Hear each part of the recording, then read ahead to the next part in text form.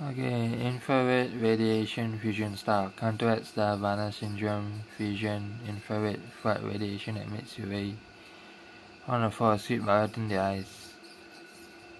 Mm, yeah, uh, also you can bend the staff bullet, bend the right bullet, and then I mean this is just a practicing video. Uh. Can I bend? You can.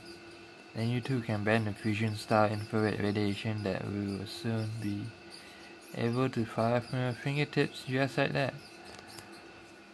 Just like that. Just like that. Just like that. That's 5 7 infrared radiation shot.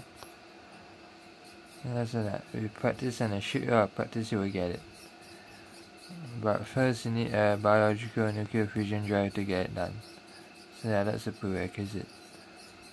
Yeah, bend the infrared style, right? See weapons are fake like when when just twist your finger when you fire yeah that. I may sound crazy but don't mind me this will all make sense in the future. Yep that's 5-7 short voice command voice and talk command yes yes. And I teach this shot to other people. Our main prerequisite is that it must have a biological equipment draw standby but they don't really know how to do that yet. So yeah so the bend shot, just aim and turn your hand like that.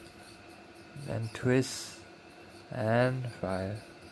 Twist and fire. Yeah, there you go, you got it myself. That's how you do it. Yeah. Okay, I'll be real for you.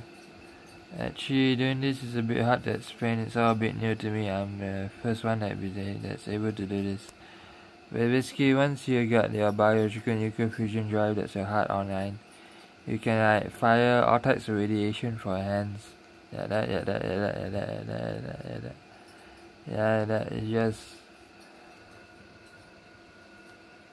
the light, the light. Yeah, that's how you do it.